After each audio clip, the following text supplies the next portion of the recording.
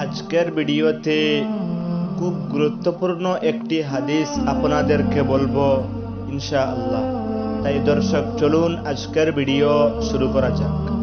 হজরত আবু আনহু হতে বর্ণিত। তিনি বলেন, রাসূল সাল্লাল্লাহু আলাইহি ওয়াসাল্লাম বলেন, যে ব্যক্তি জেনে শুনে আমার উপর মিথ্যা আরোপ করে, সে যেন আগুনে তার বাসস্থান ঠিক করে নেয়। আল্লাহ তাআলা যেন আমাদেরকে এই ধরনের খারাপ কাজ থেকে বিরত রাখেন, আমিন।